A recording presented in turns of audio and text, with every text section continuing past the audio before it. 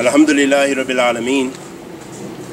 وصلى الله وسلم على نبينا محمد وعلى آله وصحبه وسلم ما بعد حبت في الله as we know and we always hear the importance of adhering to the sunnah of the Prophet sallallahu alaihi wasallam and Allah subhanahu wa ta'ala says في كتابه الكريم وأطيعوا الله وأطيعوا الرسول uh, obey Allah and obey the messenger so Allah subhanahu wa ta'ala has linked obedience with, of the of the messenger of Allah sallallahu alaihi wasallam meaning following the sunnah with obedience to him subhanahu wa ta'ala and of course how do we obey the messenger by following his sunnah sallallahu alaihi wasallam the prophet sallallahu alaihi wasallam said in the hadith of Abi Huraira عن أبي هريرة رضي الله تعالى عنه قال سمعت رسول الله صلى الله عليه وسلم يقول ما نهيتكم عنه فاجتنبوه وما أم وما أمرتكم به فأتوا منه ما استطعتم فإنما فإنما أهلك الذين من قبلكم كثرة مسائلهم واختلافهم على أنبيائهم رواه بخاري ومسلم In this hadith in Bukhari and Muslim the Prophet sallallahu alaihi wasallam is the hadith of Abi Huraira radiallahu ta'ala he said that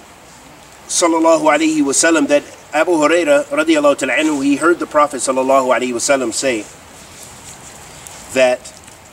whatever I have prohibited you from, then avoid it, stay away from it. And whatever I have commanded you with, do as much of it as you can. And then he said, For verily, those who came before you, meaning the to the those who followed the prophets, alayhim salatu wasalam, before the Prophet sallallahu alayhi wasallam, what destroyed them was uh, uh, masailihim, you know, asking way too many questions and differing with their prophets, alayhim salatu wasalam. So the Prophet sallallahu alayhi wasallam here, alayhi salatu wasalam, let us know to not be excessive in our questioning, meaning those things which we need to know about our deen, of course, you ask those people who have more knowledge than you. Allah subhanahu wa ta'ala says في كتاب الكريم فَسَلْ أَهْلِ ذِكْرٍ كُنْتُمْ لَا تَعْلَمُونَ Ask the people of knowledge if you don't know. But what we're talking about here, as the Prophet ﷺ said, is being excessive in questioning, asking about things that